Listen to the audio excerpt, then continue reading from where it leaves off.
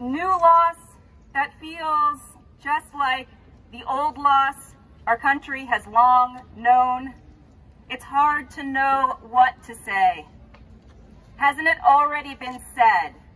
Injustice anywhere is a threat to justice everywhere.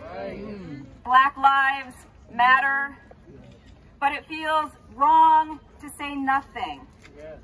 George Floyd, Breonna Taylor, Ahmaud Arbery, Michael Brown, Alton Sterling, Philando Castile, mm-hmm. Trayvon Martin, and on and on. It's an age-old list. I don't like having to imagine them on the soul plane, on the spirit plane, in order to find peace. Their work was here. Their lives and loves, their hopes and pleasures were here. And let's be clear. White rage, disregard, adrenalized fear, that's what stole their lives.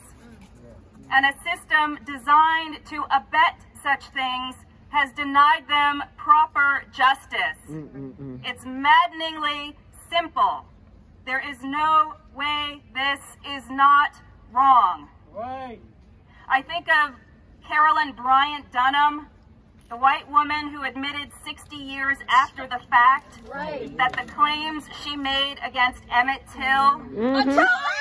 claims that led to his lynching, were false. Too late.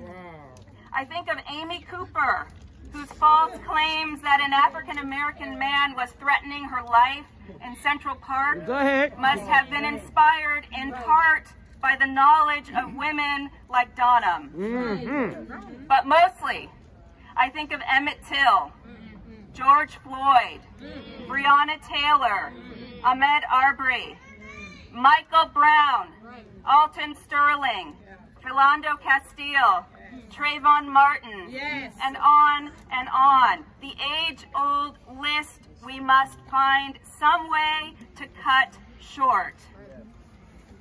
We know what their lives could have led to. Where were they allowed to last? But hate and fear and reckless power stole their beautiful black lives. Justice has not been served. Mm. I call their names in commemoration and reclamation, and in an attempt to summon the largest force I believe in.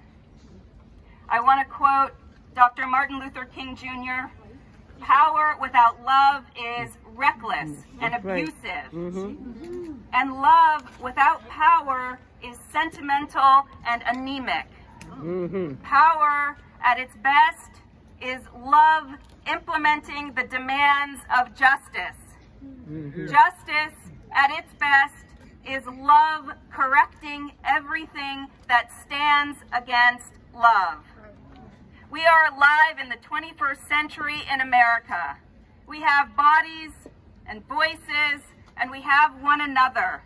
Let each of us serve as a corrective to the violent and reckless power mm -hmm. that stands against the force of love. Uh -huh. Yes. I